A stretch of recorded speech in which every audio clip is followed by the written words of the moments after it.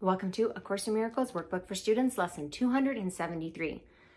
The stillness of the peace of God is mine. Perhaps we are now ready for a day of undisturbed tranquility. sounds good to me. I'm in.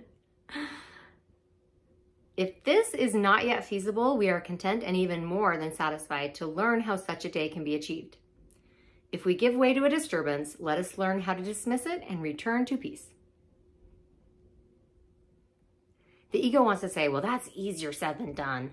But spirit says, it's easy. It's easier done than said.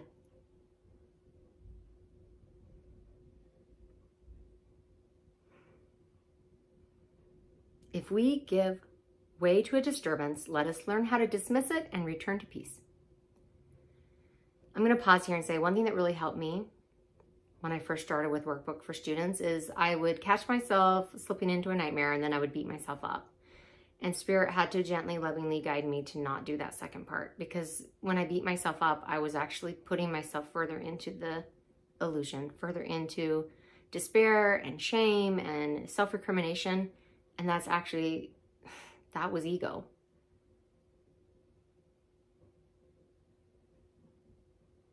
What I was to do was say, okay, well, I did what I did. I said what I said.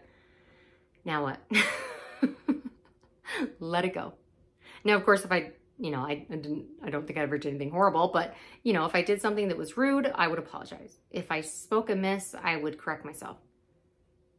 But I wouldn't go into self-condemnation and self-judgment and self-recrimination because that's just so useless.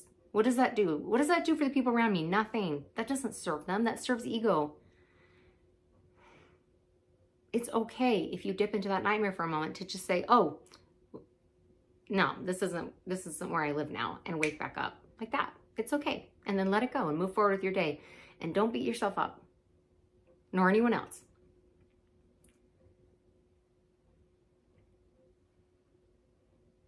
We need but tell our minds with certainty, the stillness of the peace of God is mine. And nothing can intrude upon the peace that God himself has given to his son.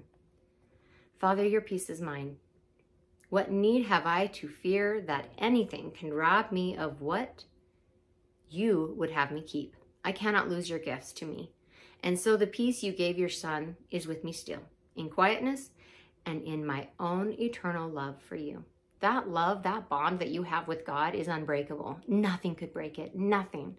And anything that says otherwise is a liar.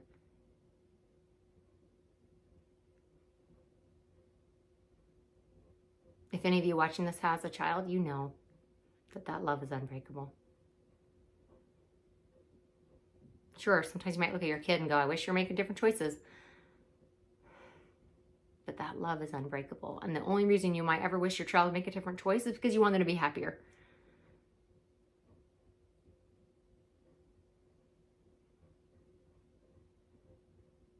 So can you see now how God looks at you? God wants you to make wise choices. You'll be happier. But that bond, that love is unbreakable. And the moment you turn back to God, you are wrapped in his love. You are safe, whole and complete, lacking no thing. The stillness of the peace of God is mine. God will never withhold that from you. Never, ever, ever, ever. Our ego will withhold that from us forever if we let it, but not God. Fortunately, you are sovereign. Fortunately, you are indomitable. And you don't have to listen to the lies of the world anymore. That is now optional because you've seen through the illusion. You wouldn't still be here on lesson 273 if you hadn't. Thank you for being here. I love you. I appreciate you. So grateful you exist and show up as the beautiful light that you are. Indomitable, whole, and complete. The only you that there is. Thank you. And I'll see you tomorrow for lesson 274.